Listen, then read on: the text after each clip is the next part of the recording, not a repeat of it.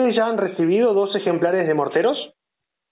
Sí, se llaman Justo y Vale. Justo se llama porque nos parece un acto de justicia que, estén acá en casa, que, eh, las cuidadoras la, los puedan este, darle todo lo que van necesitando, desestresarlos, que jueguen, coman adecuadamente.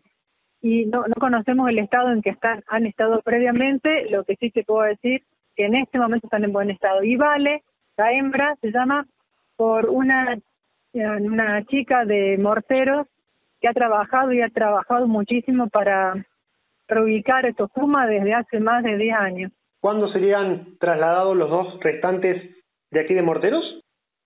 Eh, está previsto para fin de mes, pero dependemos de terminar la construcción del recinto, que más o menos está previsto, pero como son todas las construcciones, a veces se puede demorar un poquito, ¿no? Pero no mucho más que fin de mes.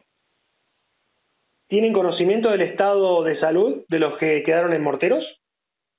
No, no conocemos. Yo he ido a Morteros porque me pidieron un asesoramiento, pero hace bastante tiempo y yo por hoy eh, no te puedo decir la situación en que están y tampoco me sumo a, o a las críticas o a los comentarios porque realmente en primera persona no, no lo he comprobado.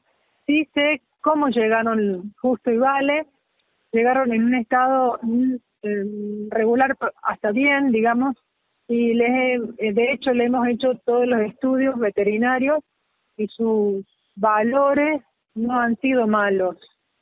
Eh, solamente hubo un refuerzo de dieta y bueno, por supuesto un tiempo de adaptación y una técnica que llamamos enriquecimiento ambiental, que son eh, prácticas que estimulan los sentidos, que los desestresan, los sacan del sedentarismo y bueno, eso ha provocado que el bienestar de los animales sea muy bueno en este momento.